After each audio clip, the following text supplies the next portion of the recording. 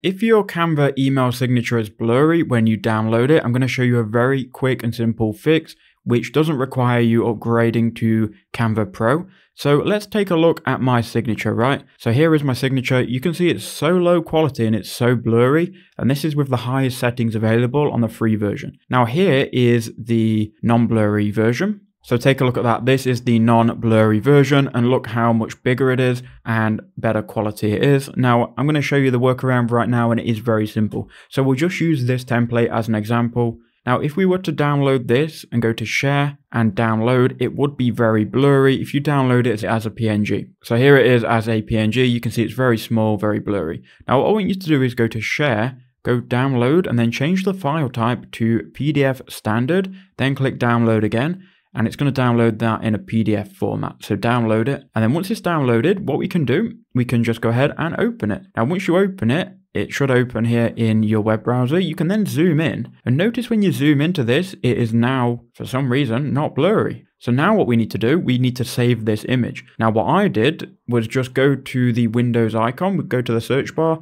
and then if I type in here snipping tool, we can go ahead and click on the plus icon. You can carefully highlight your image here just go ahead and make sure you line it up. You may have to cut like a slight bit off the corners, but then once you've got it highlighted, you can then go ahead and save it with this icon here in the top right, and then just save it to your computer.